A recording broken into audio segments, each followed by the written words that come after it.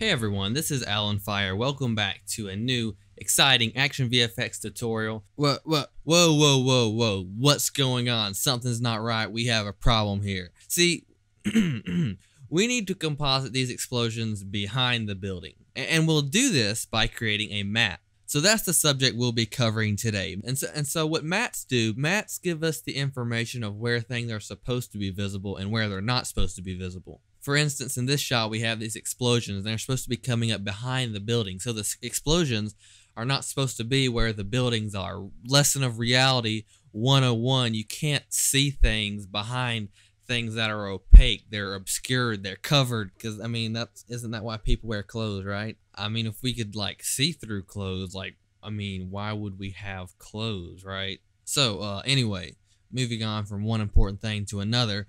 We'll be doing this so we don't have to explain or cover this process over and over again every time we do a tutorial involving maps. We'll just be able to bring up the option of watching this tutorial to make sure no one gets lost. So what we're going to do is create a new solid, control Y, shortcuts. I highly recommend shortcuts. I'm going to say highly as strong as I can say it. Highly recommend shortcuts. That wasn't very impressive. Um, but yeah, shortcuts, control Y, create a new solid. Let's call this building matte, like that. And then we'll go ahead and parent this to the tracking data so that the, the solid kind of follows the motion of the background, the scene. And uh, what we need to do is scale this up so that it doesn't go out of the picture. Something like that should be fine. And then let's go ahead and turn off the visibility for this layer so we can see the background, know where to mask. Let's go up here to the pen tool. And then we're to go all the way over here, click here, and then looks good go up here go all the way around and maybe make a middle point here. Eat supper give me a break. All right so there's a there's our mask and we can turn on our matte layer you can see what we got. Looks cool. And then after we do this even though it, we have tracking and it kind of follows the general motion of the scene we do need to go through and add keyframes to the mask. So another shortcut hit M that's going to open our mask path um, parameter and then we can hit the keyframe stopwatch button here. Let's turn it off again. Let's just go to different points and make sure this is uh, the, the mask is accurately around the borders of this shape. All right, that, that looks pretty good to me. Only four keyframes. We did this really fast. All right, so that's the matte for the building. Um, but we also got a few more objects. We got his, his head here. That's important. We also got the power line because the explosions are going to come up behind this power line. So for this power line, what I'm going to do is create a new solid hit OK. We'll scale it up like the la like we did last time, and then I'll turn it off, turn off the visibility for that layer, and then I'm going to draw a mask where this power line is. So kind of go beyond the edges because the camera moves around a little bit, something like that. And then we'll make then we need to make sure and remember to attach this to our tracking. And uh, let's go ahead and turn the visibility on. What I'm going to do is go to the effects and presets, type in this effect called stroke, I'll apply this to the layer. And uh, and for the paint style, let's choose uh, on transparent. Let's turn up the brush size, something like this. And then what we're going to do is make a duplicate of the original footage. So hit Control D. That's another shortcut for edit duplicate. And let's drag this duplicated footage layer right below the, this matte we just created. And then on the footage layer, on the track matte column, let's choose alpha matte.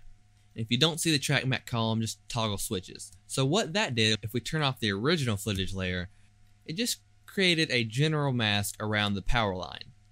So next what we're going to do is key out the blue part of the footage so it'll leave the black part. Then we'll just have the power line. So to do this, I'll create a new adjustment layer, Control Alternate Y. Adjustment layers affect all layers that are below itself. We can probably turn off uh, building matte for now. And to this adjustment layer, I'll apply linear color key effect. Apply this to the adjustment layer. I'll grab this pen tool and just click this here. And that just leaves the power line. We don't want to we don't want it to be very thick. This is probably good how it is.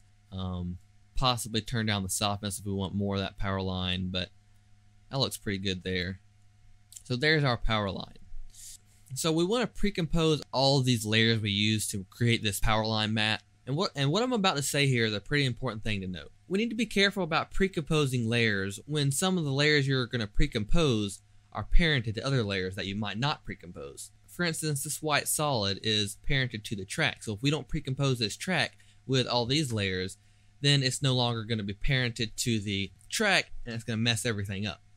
So what we have to do is create a duplicate of the track, control D, move it up here, and then parent this white solid to the duplicate of the track. And then, and then precompose the duplicate track with everything else. So precompose, and, and so remember this technique because we'll be using it later on so that I won't have to explain it again. And that's one reason why it can be very beneficial to watch a tutorial the whole way through. Especially in my tutorials, there's a lot of information that I explain once and for all, so I don't have to waste time explaining it over and over again. So we'll call this power line. And then we can turn on our building matte. So the last thing we need to do is mask out this person's head.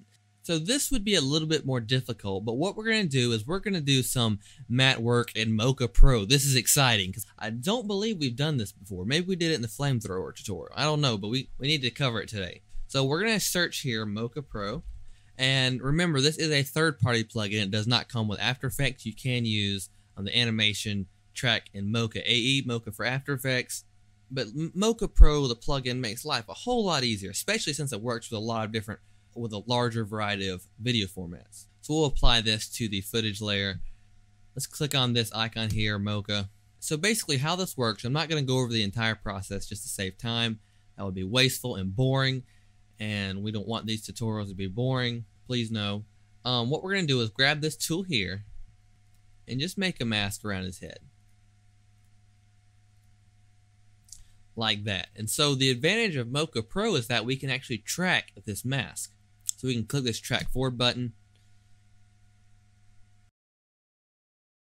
And then eventually when the mask kind of begins to slip, slip out of shape, we can, we can click the stop button here and just make some adjustments. And these adjustments are going to interpolate between these, these green keyframes, from this keyframe to this keyframe.